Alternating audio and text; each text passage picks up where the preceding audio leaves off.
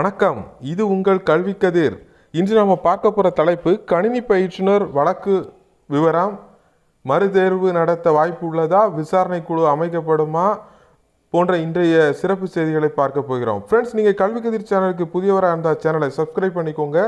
நோட்டிஃபிகேஷன்ஸில் all பட்டனை click பண்ணிக்கோங்க. மேலும் வீடியோக்கள் பிடித்திருந்தால் லைக் பண்ணுங்கள் கமெண்ட் பண்ணுங்கள் உங்கள் ஃப்ரெண்ட்ஸுக்கு ஷேர் பண்ணுங்கள் அப்போ தான் நம்ம தகவல் எல்லாருக்கும் போய் சேரும். ஓகே ஃப்ரெண்ட்ஸ் வாங்க வீடியோ பார்க்கலாம். கணினி பயிற்றுனர் வழக்கு பத்து பன்னிரெண்டு ரெண்டாயிரத்தி இருபது ஆகிய இன்று வந்தது. அந்த வழக்கில் பல விசாரணையில் பல்வேறு தகவல்கள் புதிய தகவல் இடம்பெற்றுச்சு. அந்த தகவலை தான் நம்ம பார்க்குறோம். இன்று வழக்கில் அதாவது மூன்று எக்ஸாம் வந்து ரீசெண்டராக நடத்தினாங்க. அதை பற்றி நீதிபதிகள் கேட்டாங்க.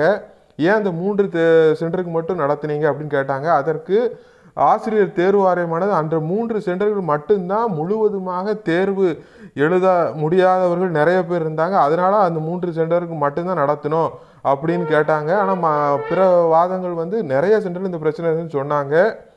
டிஆர்பி அதை ஏற்கவில்லை. அது பிறகு ஏன் இப்படி இப்படி நடத்துறதுனால நீங்கள் ஒரு மறு தேர்வு வைக்கலாமா அப்படின்னு நீதி நீதிபதிகள் கேட்டாங்க. அதற்கு இப்போ காலம் கடந்து விட்டது. நீதி மறு தேர்வு நடத்துறதுக்கு உண்டான வாய்ப்பு தற்போது இல்லை. அந்த ஒரு சென்டருக்கு மட்டும் கூட நடத்த முடியாது. ஏன்னா எல்லாம் முடிஞ்சிருச்சு நாட்கள் கடந்து விட்டன அப்படிங்கிற வா வாதம் வச்சாங்க. அப்போ அந்த மூன்று சென்டரை மட்டும் ஆய்வு பண்ணணும். அந்த மூன்று தேர்வு மையங்களை மட்டும் ஆய்வு பண்ணதுக்கு மேலும் பல விஷயங்களை கவனத்தில் கொண்டு இந்த சிறப்பு அம்சங்களை ஆராய்வு பண்ணி ஒரு குழு அமைக்க வேண்டும். அந்த குழுவினுடைய நடவடிக்கைகள் முடிவுகள் அடிப்படையில் தான் இந்த வழக்கு இனிமேல் செலுத்த வேண்டிய கட்டாயம் இருக்குது அப்படிங்கிறத நீதிபதிகள் உயர்திரு நீதிபதிகள் அவர்கள் தெரிவித்தாங்க. இந்த குழு வந்து அந்த மூணு சென்டர் அமைக்கப்பட்ட விவகாரம் ஒரு சில உள்கருத்துக்களை எல்லாம் ஆராய்ந்து அந்த அறிக்கையை கொடுக்கும். அந்த அறிவு அறிக்கையின் அடிப்படையிலேயே அடுத்த கட்ட வழக்கு விசாரணை இருக்கும் என்று தெரிகிறது. மேலும் இந்த வழக்கில் பல பிற அம்சங்களான பரவாக்கல் பரவலாக்கல் முறை நார்மலைசேஷனை பற்றியும் ஒரு சில வாதங்கள் நடைபெற்றது. அதில் இந்திய அளவில் பல நெட் மற்றும் மற்றும் கேட்டு ஆர்ஆர்பி மற்றும் வங்கி தேர்வுகளெல்லாம் இது நடைபெறும்னு சொன்னாங்க.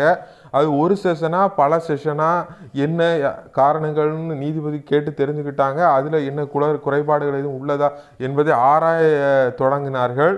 மேலும் இந்த கீ சேலஞ்சஸ் பற்றி ஒரு சில குறைபாடுகள் இருந்துச்சு. அது என்னன்னு சொல்லி விசாரித்து கொண்ட நீதிபதிகள் இந்த வழக்கை வந்து டிசம்பர் மாதம் இருபத்தொன்னாம் தேதிக்கு தள்ளி வைத்தாங்க. இருபத்தொன்று பன்னிரெண்டு ரெண்டாயிரத்தி இருபது அன்று இந்த வழக்கானது மறுபடி ஒரு முறை விசாரணைக்கு வரும். அதே நேரத்தில் இந்த மூன்று இந்த தேர்வு மையங்களை ஆராய இந்த வழக்கு குறித்த ஒரு சில பிரச்சனைகள் ஆராய ஒரு குழு அமைக்கக்கூடிய சூழல் உள்ளது. அந்த குழுவை விரைவில் நீதிபதி அவர்கள் நியமிப்பார்கள். அந்த குழு அமைத்த பிறகு அது ஆராய்ந்து அது அமைக்கக்கூட ஆணையும் கூட விரைவில் வெளியிடலாம். அந்த குழு ஆராய தொடங்கலாம். ஏன்னா இன்னும் பத்து நாளுக்கு மேலே இருக்கனால இடையில் குழு அமைக்கப்படும். இருபத்தொன்றாம் தேதி மறுமுறை வழக்கு விசாரணைக்கு வரும் என்று நம்பலாம். நண்பர்களே நீங்கள் இதுவரை கல்வி கதிரை பார்த்து கொண்டு அனைவருக்கும் நன்றி தெரிவித்துக் கொள்கிறேன். மேலும் இந்த வீடியோ பிடித்திருந்தால் லைக் பண்ணுங்கள் கமெண்ட் பண்ணுங்கள் உங்கள் ஃப்ரெண்ட்ஸுக்கு ஷேர் பண்ணுங்கள் அப்போ தான் நம்ம தகவல் சே போய் சேரும். Okay friends thank you